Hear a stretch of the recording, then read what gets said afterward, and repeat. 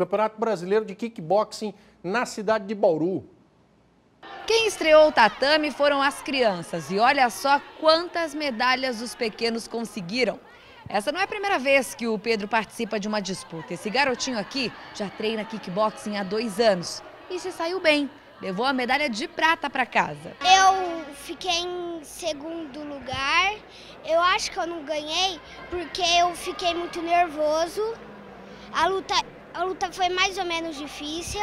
O ginásio Panela de Pressão em Bauru ficou cheio de amantes da modalidade. A maioria estava aqui para assistir alguém especial e que estava prestes a disputar o primeiro campeonato brasileiro de kickboxing da KIK, a Confederação Internacional de Kickboxing. Primeira vez que ele vem e é muito organizado, tudo certinho. Primeira vez ele já pegou É, verdade.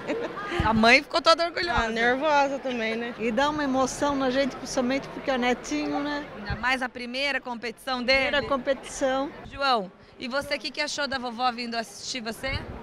Legal. Mais de 200 atletas participam dessa competição que envolve lutas no tatame e no ringue de diversas modalidades. Todo mundo se preparou muito para esse evento. E os atletas das categorias adultas, avançadas, que saírem melhor, podem ter a chance de disputar um campeonato muito importante no ano que vem no Japão. Todos os campeões das categorias avançadas adulto vão ganhar uma vaga para estar tá lutando no Japão. Eles se classificam para estar tá lutando no campeonato asiático de kickbox.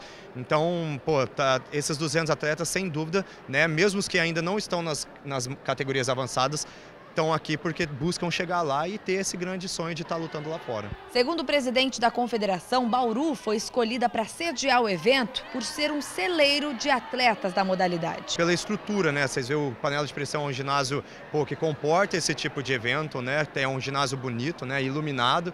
Então decidimos escolher Bauru, né? Também por ser, não fica tão distante da capital, né? E ao mesmo tempo é uma cidade mais do interior. Então a gente consegue atingir, né? Os dois lados do estado. Felipe, mais conhecido como Pato, é de Bauru e luta há três anos. Resolveu participar da competição para tentar acumular mais um título para a história. Recentemente ele teve uma conquista importante. Ganhou medalha de ouro nos Jogos Abertos do Interior, que foi realizado no mês passado, na categoria até 67 quilos. E a expectativa agora é positiva também. O campeonato é de alto nível, então só atletas do topo mesmo e para mim foi é, uma, uma honra mesmo chegar lá, lutar com os melhores e conseguir vencer ainda. E agora, como é que está a expectativa? Agora, preparação de novo, começa pé no chão, porque é luta, né? Luta não tem um dia você ganha, um dia você perde, um dia você está bem e ganha, um dia você pode não estar tá bem e não vencer. Essa turma veio de São Paulo. Essa vai ser a primeira luta do técnico Rodrigo depois de dois anos afastado dos rings. Imagina só a ansiedade. Decidi dar mais ênfase como treinador à equipe. E hoje a gente trouxe 11 atletas para o Campeonato Brasileiro. E como veio bastante atleta junto, deu aquela vontade de participar junto com eles, até para incentivar os atletas também, estar tá lutando junto com eles e eles verem o treinador lutando também. Acho que isso é importante. Tem uma equipe de peso. Isso, vê, equipe de Bitai. Né? O nosso treinador, ele, o nosso mestre, o Gibi, é quatro vezes campeão mundial. Né? Então a gente veio para o Campeonato Brasileiro para mostrar que a equipe de Bitai é grande e está de volta aos campeonatos. Campeonato Brasileiro, Campeonato Grande, né? Guilherme veio de ainda mais longe, estava na expectativa. Vocês vieram do Espírito Santo. A gente veio de carro, foi 20 horas de viagem, bem cansativo.